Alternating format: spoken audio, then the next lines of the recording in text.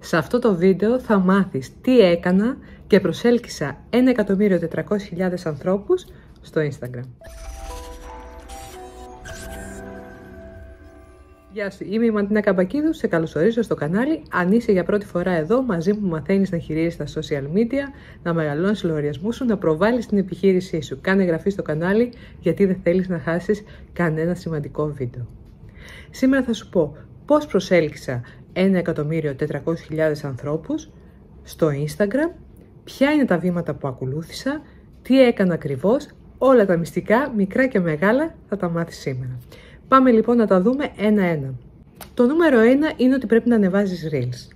Σου το έχω πει και σε άλλα βίντεο. Αν θέλεις να μεγαλώσει ο λογαριασμός σου, αυτή τη στιγμή αυτό που μπορείς να κάνεις είναι να ανεβάζεις βίντεο, Reels τα λεγόμενα, τα οποία είναι λίγων δευτερολέπτων.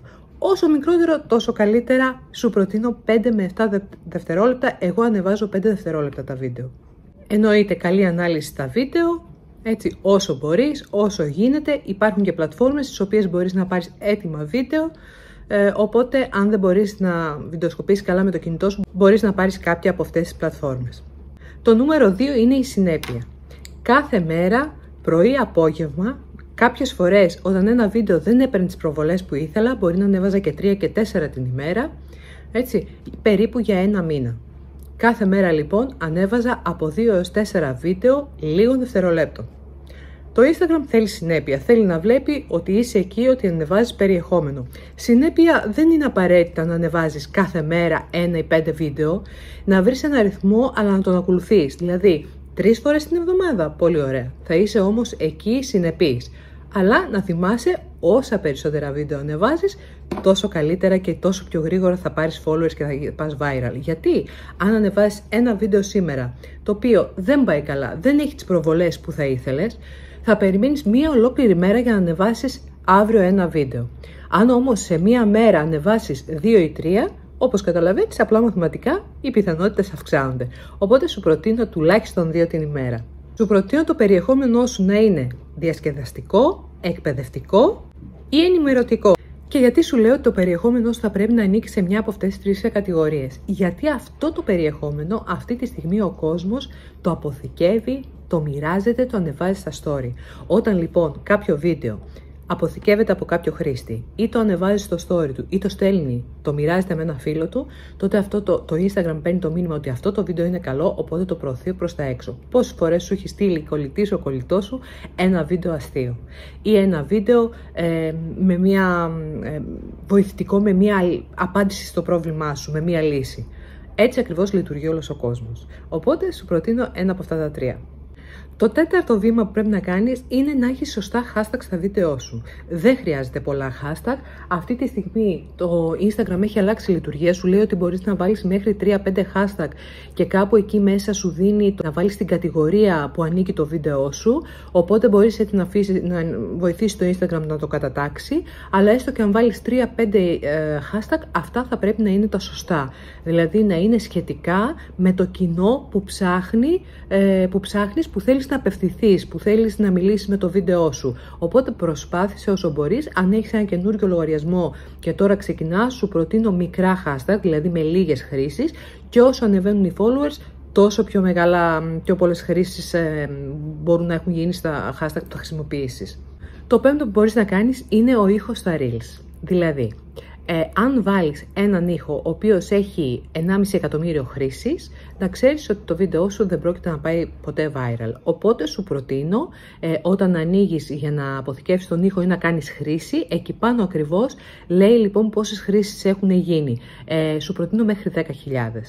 Ε, θα βρίσκεις δηλαδή ήχους, θα μπαίνεις στα, στα βίντεο που σου βγαίνουν στη ροή σου, θα μπαίνεις στον ήχο, θα τσεκάρεις ε, και αν είναι κάτι μέχρι 10.000 μπορείς να το χρησιμοποιήσεις και έτσι έχεις περισσότερες πιθανότητες να πας viral. Το νούμερο 6 ε, βήμα που πρέπει να κάνεις είναι να γράφεις πάνω στα βίντεο. Μεγάλους τίτλους, ε, ευανάγνωστους. Επίσης, αν ε, μιλάς, καλό είναι να βάζεις ε, και υπότιτλους στο βίντεο. Ε, αυτό μπορείς να το κάνεις σε πάρα πολλές εφαρμογές. Υπάρχουν εφαρμογές στις οποίες ε, ε, ακούει την ομιλία και βγαίνει αυτόματα ο υπότιτλος, αλλά ποτέ δεν είναι τέλειος, πρέπει να τον διορθώσεις. Ή αν πας στην εφαρμογή shot, μπορείς να γράψεις και να περάσεις από κάτω ό,τι έχεις πει. Ε, αυτό βέβαια σε μικρά βίντεο, γιατί αν έχεις ανεβάσει ένα βίντεο το οποίο είναι 10 λεπτών, ε, όπως καταλαβαίνεις και μιλάς τόση ώρα, είναι πολύ δύσκολο, οπότε σου προτείνω μια εφαρμογή με αυτόματους υπότιτλους, αλλά και πάλι όπως σου είπα πρέπει να το διορθώσεις. Νούμερο 7. Προσπάθησε να ε, κοινοποιείς τις σωστές ώρες.